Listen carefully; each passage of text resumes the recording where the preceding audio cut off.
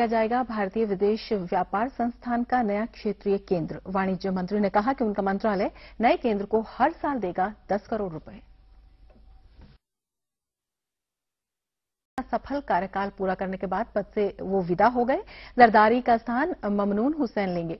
जरदारी पाकिस्तान के Andre pace और उनके चेक रिपब्लिक के जोड़ीदार अजेक स्टेपनेक आज यूएस ओपन के पुरुष युगल के फाइनल में अपनी चुनौती पेश करेंगे। इस चौथी वरीयता प्राप्त जोड़ी लेते हैं मुख्य समाचार एक बार फिर से। मुजफ्फरनगर के जिलाधिकारी के आर शर्मा के मुताबिक ज़िले में सामूहिक झड़पों